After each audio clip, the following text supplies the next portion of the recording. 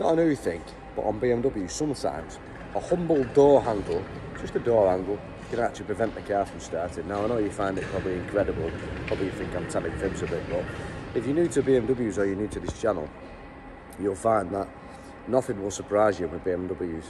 It's a comfort access one, most of you probably already know this, but I bet there's hundreds of thousands of people out there who don't know it. This video is going to blow you away. Car didn't start. Let's check it out. You're going to love this. A lot of oscilloscope action in this video. Um, good fault find this. I really enjoyed it. Let's get into it. Well, I, did, I managed to get me uh, my fat ass in there. Not as fat. I've lost a bit of weight over the years. Right, let's see. Engine start fault. It's probably it, removing insert into ignition lock. Ignition lock's not working, is it? Let's disconnect the IBS. Please work. If this works, it's going to be amazing. Unfortunately, my miracle video, which it could have been a miracle, was complete bullshit.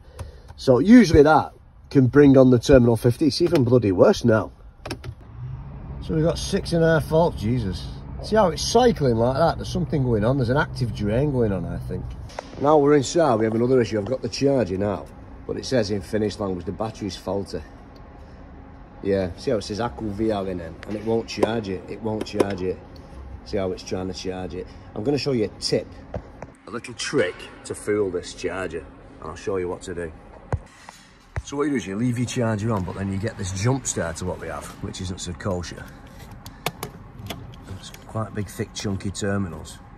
And you want to kind of put that on as best you can. And we're going to kind of use the boost pack as a bit of a trick, really. When it's so discharged, the battery, and I guess it's even more discharged, it just won't charge it for safety reasons, you see. Now we'll try that again. and it comes online then you see. It starts to charge it you see. Slowly. And it should in theory while I go get my coffee remain charging. There yeah so what we need to do on cars like this one, we haven't got any ignition we need to put in the chassis number the last seven digits in ISTA it's easy with ISTA actually believe it or not and we're going to go in through the backup K line now we're actually going to set up a vehicle connection Right, we've got no comms to everything because of this comfort access issue, but as you notice, the CA, the CAS, the Combi, FZD, they're all lit up now. Well, why are they green? Well, we've gone in through K-line. There's still no ignition, and it's still very limited, but they've woken up, so they've gone from orange to green. That's the reason, but there's still no comms with Terminal 15. And what I'm doing now is I'm just, I've managed to get into the CAS without the ignition being on. It's a very unusual way, but if you go through the K line, you can do that. And we're looking at a fault counter for the steering lock, because that's common on E-Series, isn't it, for having faulty steering locks. And what's got surprising is, although there's no ignition, guess what? We've got no faults with steering lock, so we don't need to start thinking about that. So I knew we had some voltage because there's a relay there, and when I, obviously when I pull it out, the glove box light goes out. So I know we've got a, a relay working. And then I decided what I'll do is, because as you can see from the, from the video footage I took, there's nothing wrong with the ELV, the steering lock. In that sense, now it's working, of course. Nothing wrong with that in that sense. But what I have done, I've disconnected the comfort access as well. Now, when I disconnected the comfort access, I'm going to have to now put it back on and double check because that could sometimes cause. So the comfort access is buried behind all this paneling and no one ever usually knows there's any control units there because you don't really see, all you see is a wire like that. But I can guarantee that this is a, a troublesome bastard and it, I've had a lot of issues with this in the past. And that's the connector there and as you can see on that connector, that's a connector actually looks like it's been modified at some point. There is K-CAN on there. So in the end, it was just a, a, simple control unit failure, and it was bringing down the bus. But yet, when we look at the K-CAN bus, the, the, you know, they didn't really kind of seem to affect the signal, and I thought it would actually. And in fact, some of the messaging now is looking quite the same as it was when it was plugged in. So what it could have done, it could have actually shorted out on the 12 volt side probably and something for safety reasons as would have disengaged in the junction box electronics under there to cut the voltage to everything. For example, the CAS wake up signal, for example, it could have the CAS could have cut that. This is the comfort access function. I have the same thing on my i3 and even the handle looks the same. So we can plug it back in and see which one's faulty essentially. So it's fixed, isn't it? If you can consider having no comfort access fixed, um, everything seems to be working now. And our vehicle tree now looking a lot healthier And of course, CA we've disconnected so that won't communicate. And we could even call that off and make it disappear if we wanted to do. More interesting now, uh, as I'm making these videos, obviously I'm recording it at this, at this time, um, things can change before I end up getting to finishing the video when I go home and you know when I do all the editing. Guys just run back, you know, after I've built the bloody thing up, he wants to diagnose the reason why the comfort access is faulty. So that's going to be really good. So tomorrow, at some point, what's going to happen is I'm going to end up um, checking the comfort access bus. But before I do that, I'll just pull off the uh, handles in turn. I'll pull the driver's handle off, and then after that, I'll pull off the um, passenger handle.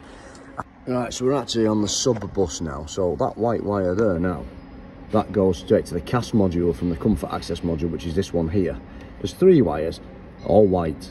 CAS module, and then the other two go to the right door handle at the front of the car and the left door handle. Now, I've just saved this lovely frame, and I'm glad I did because I'm going to explain what it is. So that's the signal, what the comfort access module sends to the CAS module on the sub bus, the single wire bus and that um, message is the locking message and what that means is when I press the key fob which we'll see when I start the scope again here that message will be output on the bus. So we know that the module is working beautifully. And what this is this is called um, serial decoding. So there's the synchronization frame. There's another synchronization frame at the end after the message. And the message contents here which you can see the hexadecimal there. These hexadecimals that's the actual contents of the message telling the CAS module that it's been locked. And the CAS module obviously uh, is responsible for the locking security of the car so that is essentially good because it means that there's nothing wrong with that module. Now I've found the fault and I'm going to show you what that is in a minute but let's just keep going. So in standby mode it, it sits at 12 volts. It was quite tricky to get this signal set up actually compared to the bus one. Can you see these little pulses? Little pulses there. Quite normal is that. Okay. There's your unlock signal.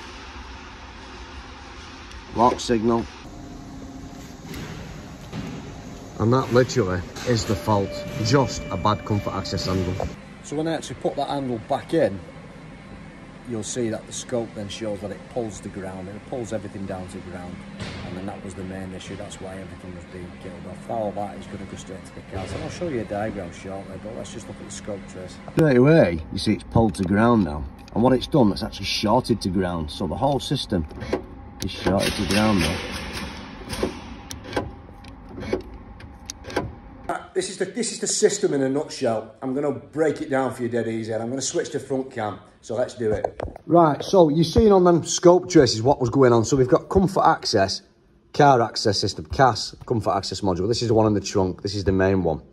So our PA bus, passive passive go bus, it's called, was shorted here on the on the handle. You've got three three wires, signal, 12 volts on the ground. Well, at some point it's short into the ground supply and uh, it's going all the way here and it's killing all these signals. The CAS is seeing an active short and it's disengaging itself from the bus. It's just shutting down completely. However, we used ISTA, didn't we? And we got in through K-line. And when we went through K-line, we managed to get, from this being orange, it went green when K-line woke it up. We couldn't really read any fault codes, but we could read that the ELV steering lock wasn't faulty, so I knew it wasn't that. Plus, we had the glove box light on and we had the footwell light on, so I knew there was some sort of electricity.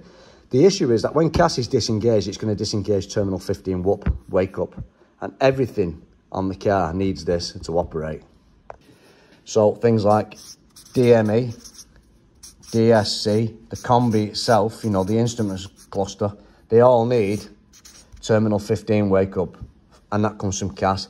And if this is shorted, this ain't going to give you terminal 15, which is why we had no comms with certain things. Also, why we had comms with other things, because not everything needs terminal 15 wake up. So the ones that need 15 whoop is that. And because we didn't see any steering lock faults, we know we've not got steering lock issue. Now, a lot of places might have actually basically said change the steering lock because it's kind of same sort of thing. But one last thing I'll leave you with is imagine the other fault, what I thought it could be, would be the intelligent battery sensor. It's exactly the same situation as a door handle. You've got three wires, you've got like a LIN bus, you've got a CAS, uh, sorry, you've got a LIN bus and you've got two wires of power and a ground. Again, the sensor on the battery can do the same. It can short out exactly the same as a door handle and give you exactly the same results. No CAS wake up, disconnect it, job done. Does that on E60s a lot as well. We hope you like that video. Uh, a lot of places I know might have done that a bit differently. It didn't take me that long to do it. Uh, video footage makes it look a bit drawn out, but uh, it's quite a common issue. But if you're not, if you're new to BMWs, you're new to fault finding. That's something that you would never know, isn't it? Because the central locking's working, you wouldn't think there'd be anything wrong with door locks, would you? But comfort access and C, uh, CA buses is different than CAS. It works the same way, but it's a separate system, and it can bring everything down. As you've seen, it can destroy the entire car, leave you stranded completely. Of course, if you just unplug it, you'll be you'll be laughing. You'll get your car back on the road. It's the sort of thing that if you didn't know, you would never know, would you? So I hope you liked it. Don't forget, I've put a link for my subscription service. We've got to just shy of 20 members. There's a couple of videos already, and videos, um, I'm going to do videos, for example, such as this video I'm going to flash on now for you. So what this is here is a very, very basic motor, and it doesn't even have brushes, it's terrible. I've put a noise filter on, but it's not that great. And what I'm doing, I'm just uh, showing you how the pulse width modulation works on this motor using the oscilloscope and I've got the old motor driver which I bought a couple of weeks back off Temu and there you can see the voltage changing as the pulse width modulation sort of increases. And these are the sort of things I'm going to be doing on uh, training videos essentially. Um, how things work and you know for a fiver a month it's not really so bad way to learn is it? And this is something I've put together myself uh, I bought the motor but I've, I've made a few additions to it. And it should be pretty good. You should be able to learn quite a lot from this for essentially not a lot of money at all. And what videos like that is little things to show how things, for example, in that video, how pulse width modulation works. Now, the videos I'm going to be working on, it's less than a fiver a month, and you're going to be basically sort of supporting me in that sense um, to grow this TikTok experience in that sense. And I'm hoping I can teach everybody the skills that I've amassed over the last 31 years in the industry. And if you're serious about getting good and getting better at fault finding, whether it's for DIY reasons or for your job, then I can offer you quite a lot. Um, there'll be a live coming up soon, a couple of days I think I'm going to do that. I'll announce that soon and I'll run that from home. Um, we're just going to be chatting about stuff. And then there's more lessons going to be added. I've done two lessons already for voltage and current, and next will be resistance. And I do them from home. So if you want to learn for very little money, you'll be supporting me for buying equipment like you've just seen on that video. I just flashed up for you. Thanks very much.